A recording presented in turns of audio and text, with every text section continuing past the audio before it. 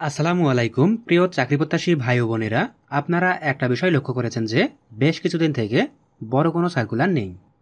এর মূল কারণ হচ্ছে, বিভিন্ন মন্ত্রণালয় এবং অধিদপ্তরের নিয়োগ প্রক্রিয়া যাচ্ছে পিএসসির আন্ডারে যেটা আমাদের মতো চাকরি প্রত্যাশীদের জন্য খুবই ভালো সংবাদ। পিএসসির আন্ডারে যে পরীক্ষাগুলো হয়ে থাকে, সেগুলোতে দুর্নীতি খুবই কম হয়। মূলত বর্তমান সময়ে সার্কুলার কম প্রকাশের এটিই কারণ।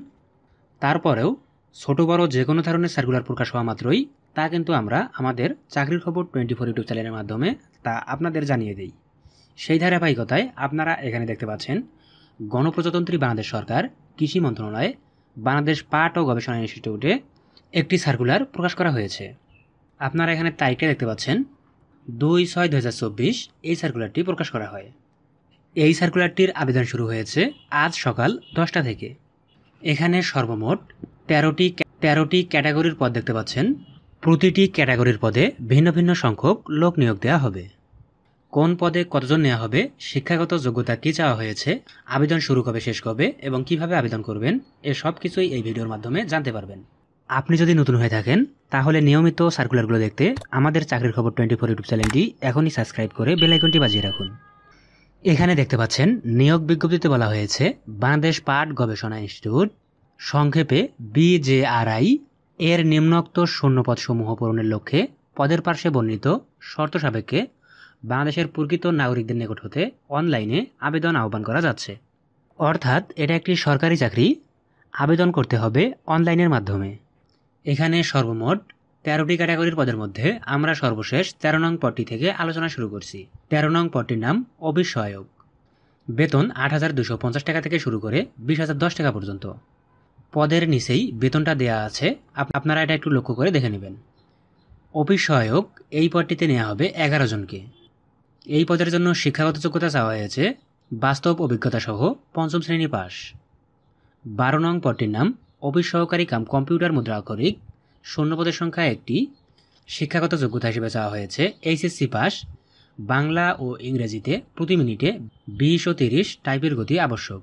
এগারো নং পদটির নাম অফিস সহকারী কাম কম্পিউটার মুদ্রা আক্ষরিক এখানে দেখতে পাচ্ছেন, স্থায়ী লেখা আছে, ব্র্যাকেটে স্থায়ী অস্থায়ী লেখা আছে, আপনারা এটা দেখে নেবেন। তবে স্থায়ী অস্থায়ী পদে সরকারি চাকরিতে তেমন কোনো পার্থক্য নেই। আপনারা যদি সরকারি চাকরিতে স্থায়ী অস্থায়ী পদ সম্পর্কে জানতে চান, তাহলে আমাদের চ্যানেলের এই ভিডিওটি দেখে আসবেন। এই ভিডিওটির লিঙ্ক ভিডিও ডিসক্রিপশনে দেওয়া থাকবে। যাই হোক, এগারো নং এই পদটিতে নেওয়া হবে, নয় জনকে শিক্ষাগত যোগ্যতা হিসেবে চাওয়া হয়েছে, এইচএসসি পাস, বাংলা ও ইংরেজিতে প্রতি মিনিটে গতি যথাক্রমে বিশ ও তিরিশ শব্দ। দশ নং পদটির নাম জুনিয়র ফিল্ড অ্যাসিস্ট্যান্ট স্থায়ী। শূন্যপদের সংখ্যা দুইটি। শিক্ষাগত যোগ্যতা, কৃষি ডিপ্লোমা বা কৃষি সনদ বা এইচএসসি কৃষি। কৃষি ডিপ্লোমাধারীকে অগ্রাধিকার দেওয়া হবে। আপনারা যারা কৃষিতে ডিপ্লোমা করেছেন, অর্থাৎ তাদেরকে অগ্রাধিকার দেওয়া হবে।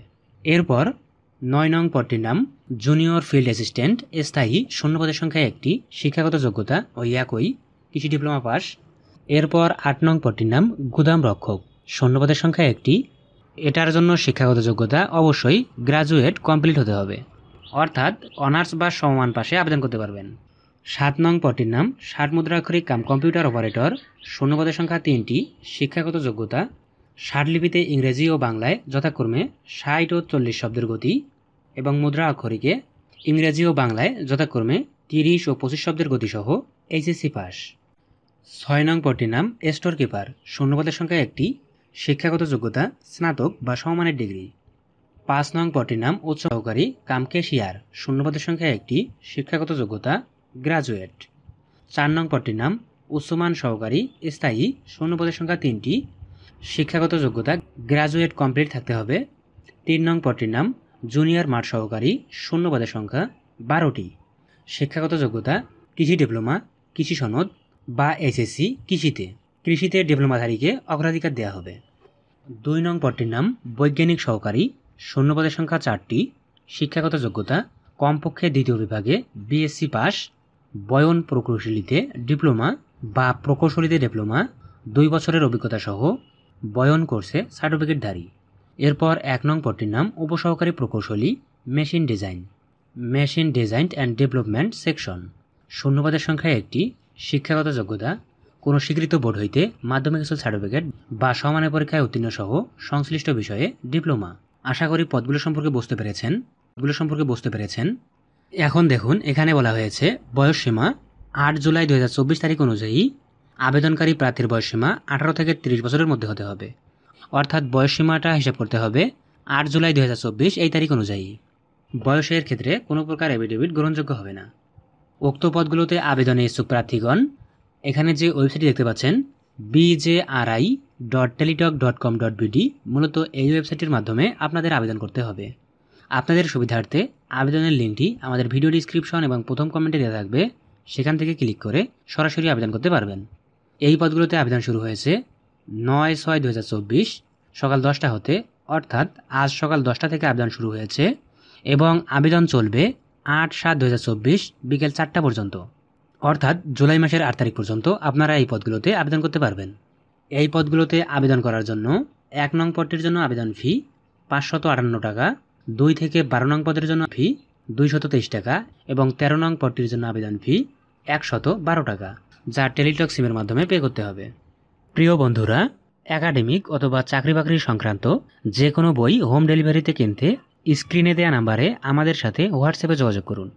ইনশাল্লাহ আমাদের কাছে সকল প্রকাশনীর সকল ধরনের বই পাবেন। ধন্যবাদ, আল্লাহ হাফেজ।